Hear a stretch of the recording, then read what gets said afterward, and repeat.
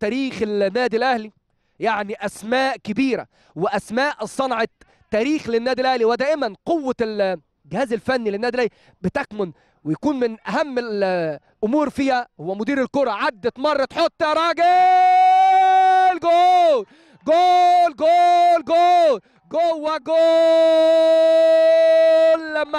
محمد فخري.